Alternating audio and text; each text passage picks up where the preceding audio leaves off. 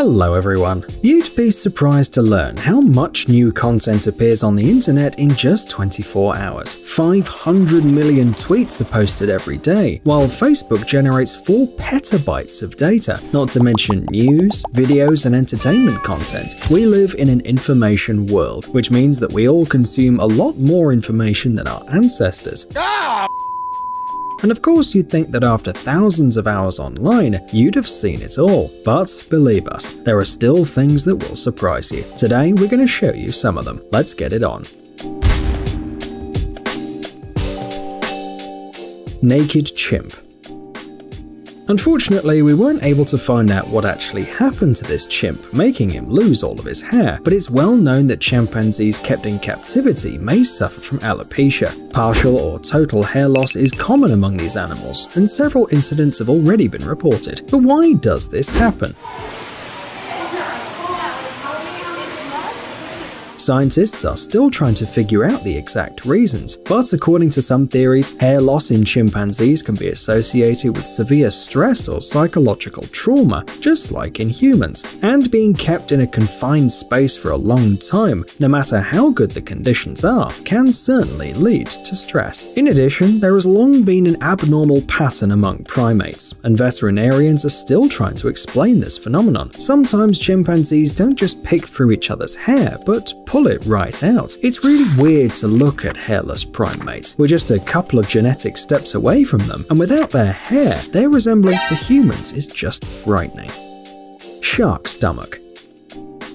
If you're watching this video while eating, we'd advise you to put your food away for a bit. It's definitely not for the faint-hearted. So, anyway, did you know that there's a phenomenon in nature known as gastric eversion? It occurs in a very limited number of animals, including some sharks. Basically, it means that the stomach can move around the animal's body painlessly, and even fall out if necessary, and then it gets back into the body as if nothing had happened. But why would sharks need need such a skill. As a rule, it's used by predators in situations of extreme stress or to get rid of excess food if necessary. Sharks don't know how to vomit, and sadly they tend to overeat. Therefore, when they need to get rid of some food, including poorly digestible parts, the stomach is just thrown out and cleans naturally. This reaction can be caused, for example, by the presence of turtle shells, bones, or feathers in the stomach. In general, it's a perfectly safe natural mechanism that brings relief to sharks sharks, but sometimes when the stomach is spat out due to stress, it is difficult for sharks to get it back on their own. Whistled language. We are so used to communicating through words that we don't even think about the possible existence of other means of communication. Well, except for sign language, of course. But some people use whistled languages to communicate from afar. These languages are used in different parts of the world the Canary Islands, Ghana, Central and South America, but in almost all of these places, this language is on the verge of extinction. Another place on the planet where whistled languages is used is the Turkish mountain village of Kuskoy. Scientists learned about the existence of this language back in the 60s. Back then, almost everyone in the village of Kuskoy could speak it. Today, only half the population knows the language, because portable means of communication have solved the problem of talking to people from a distance. The inhabitants of the village of Kuskoy refer to their tongue as bird language, and tell the legend that it's been passed on from parents to children for many centuries. Some historians believe that it was invented by mountaineers during military clashes. Others say that this whistled language was brought here by Spanish immigrants during the Inquisition. But most likely, this unusual language was invented by local shepherds. They needed to communicate before telephones were invented, in an area with complex mountainous terrain. By the way, here's another interesting fact. Scientists are very interested in whistled languages, and they've conducted research. It turned out that speaking bird language activates both hemispheres of the human brain, while ordinary language only makes the left hemisphere work. This is because the right hemisphere is related with processing melodies and sound frequencies.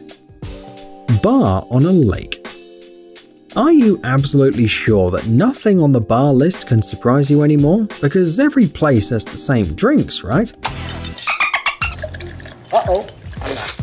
Well, this shot is likely to make you change your mind, and it comes with a bonus, a live fish. And you need to drink it in one gulp. How do you like that? This amazing idea belongs to Josie Norgren from Minnesota. She's been dreaming of opening her own bar for years, and some time ago she finally did. The place was built right in the middle of the frozen lake Leda. Of course, it's not open all year round, but only for two or three weeks in winter when the ice is thick and safe enough.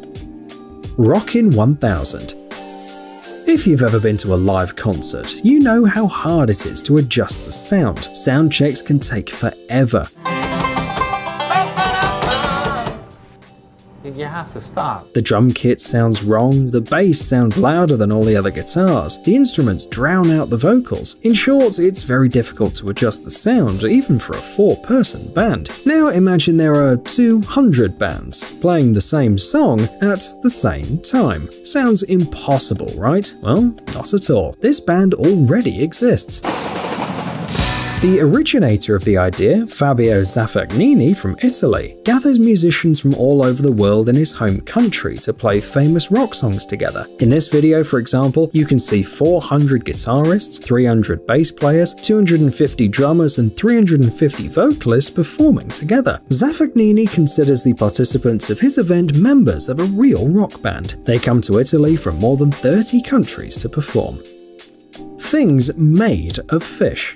Designer Joel Isaak grew up in an Indian tribe in Alaska, where he was taught to live connected to nature since childhood. Of course, nowadays people usually don't go hunting or fishing to get food, but for some it's still part of their culture. Although now Joel goes fishing not only because he likes fish, but because he needs its skin. Turns out that you can make a lot of household items and even clothes out of this material. The designer, for example, uses salmon skin to make masks, shoes, dresses, and even motorcycle jackets. He catches, guts, and eats the fish, just like his ancestors did decades ago. Floating schools.